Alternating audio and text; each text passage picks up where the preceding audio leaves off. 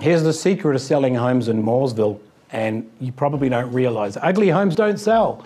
But what's ugly? I mean, what does ugly mean? Does it mean current? Mooresville, I've worked three markets in three countries, and, and one thing I've noticed here more than anything else is this is a move and ready market. People have very little vision, very little time, very little understanding. When they see a home that just doesn't do it for them, they don't know why it doesn't do it for them. Sometimes it's as silly as paint or minimization or staging wasn't done. Half of my business is going into listings that have been on the market for a year and we'll go in and we'll pick the right colors. We've got our own paint crew, we've got our staging crew. It's not a lot of money. It's not that much money, but if we can get the right feel on these homes and the current feel, people, all of a sudden buyers walk in and say, I like it.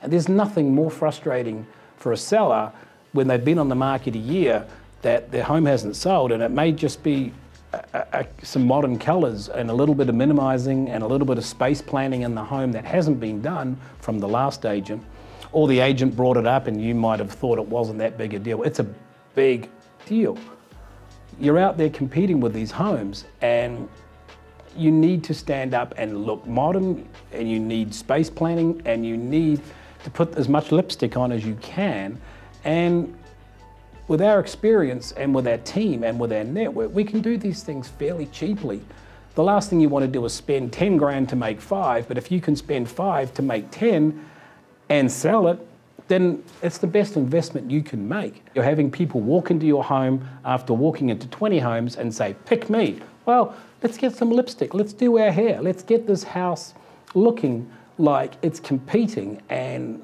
it makes a huge, huge difference.